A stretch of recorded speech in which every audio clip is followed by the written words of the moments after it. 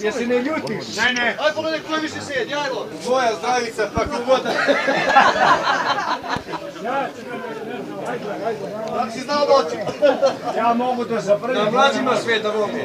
Tebe se uprašim. Ko smo živio kola? Ko je domaći idući vrše, čujemo li djelo? Ko je to? si izjasni.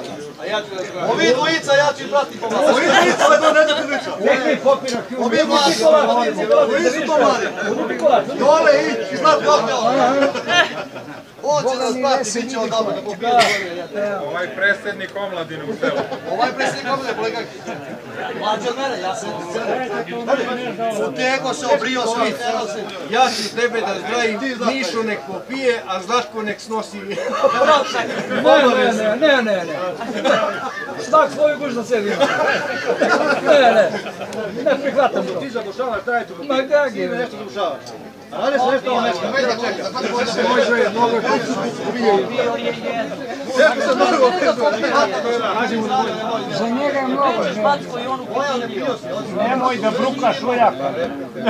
Boga mi mene ne može da Da se nauči to. Ono,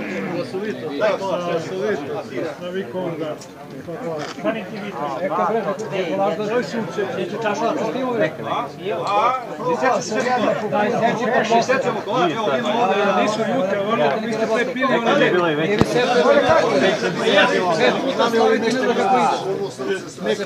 To je bilo pre, ali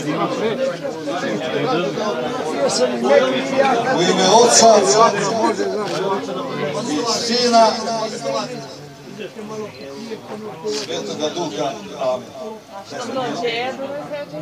Dobro, djedo. Gdje su si zapričali? Ima je pa da vjerojatno bi dao. Znači kolačarci ne izgleda. A, dva,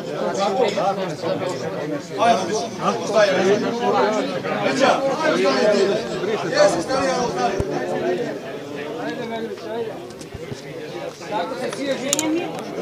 Ovako li se